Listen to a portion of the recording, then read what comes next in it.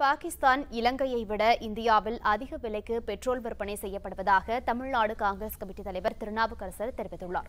சென்னையில் நடைபெற்ற இந்திரா காந்தி நினைவு நிகழ்ச்சியில் கலந்து கொண்ட பின் செய்தியாளர்களை சந்தித்த அவர் போயஸ் கார்டன் இல்லத்தில் நடந்த வருமான வரித்துறை சோதனை குறித்து முதலமைச்சரும் துணை முதலமைச்சரும் தங்களது கருத்துக்களை தெரிவிக்க வேண்டும் என்றார்.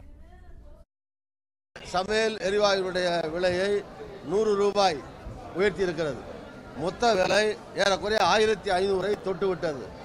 ஏறக்குறைய மானியம் இல்லாமல் சிலிண்டர் விலை கொடுத்து வாங்குவோருடைய எண்ணிக்கை தமிழகத்தில் மட்டுமல்ல இந்திய நாடு முழுவதும் சுமார் நாலு கோடி குடும்பங்கள் மானியம் இல்லாத சிலிண்டர் வாங்குகிறார்கள். அவர்களெல்லாம் ஆயிரத்தி ஐநூறு ரூபா ரேட்டில் வாங்க வேண்டியிருக்கு. நூறு ரூபாய் ஒரே நேரத்திலே சமீபத்தில் ஏற்றப்பட்டிருக்கிறது.